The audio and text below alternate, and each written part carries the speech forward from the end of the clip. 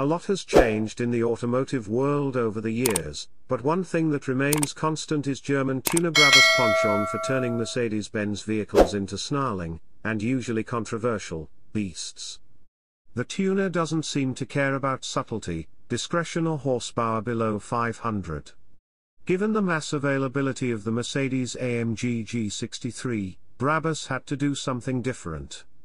The P900 Rocket Edition looks very different this time it's a truck. dot In its opinion, the Mercedes-AMG G63 is nothing to scoff at.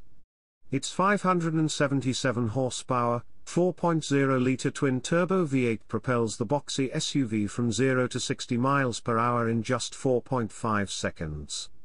As impressive as these numbers may seem, for some, they are not enough.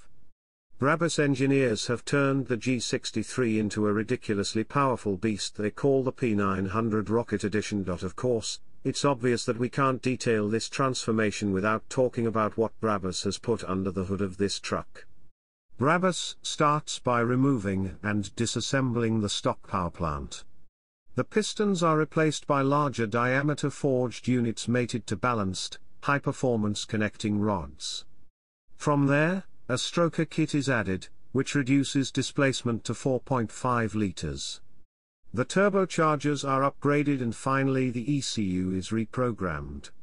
The result is a larger V8 that now produces 900 horsepower and 922 feet-to-pounds of torque. Brabus hasn't revealed how much towing power the newly launched pickup truck might have this time around, but we don't imagine rocket buyers will want to lake the Airstream. Weekend fishing. If you want to own the Brabus P900 Rocket Edition, you'd better act fast.